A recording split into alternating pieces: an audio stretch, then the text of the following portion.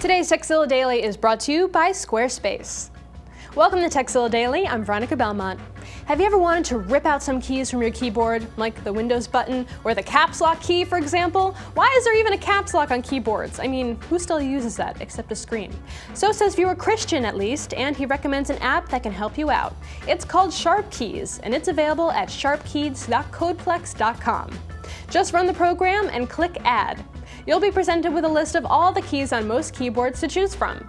Just select the key you want to alter in the left and then choose the action you want it to take on the right. And if you don't want to sift through the list, you can hit the Type Key button and just press the key on your keyboard to select it. Once you're done, hit OK, then on the main window, click Write to Registry and apply those changes. So if you have a key on your keyboard that is just utterly useless, remap it to something more productive. And thanks to Christian for the tip. Now, if you have a tip you'd like to share with the world, let us know. Email us at tekzilla at revision3.com. And don't forget tekzilla.com. It's the place to find more tips, tricks, product reviews, and how-tos. Squarespace offers users an easy, flexible solution for anyone looking to create a blog, personal portfolio, or any kind of website. Squarespace just pushed a brand new social widget for geolocation services that displays your most recent check-ins from Foursquare, Gowalla, and Facebook Places on a live Google map.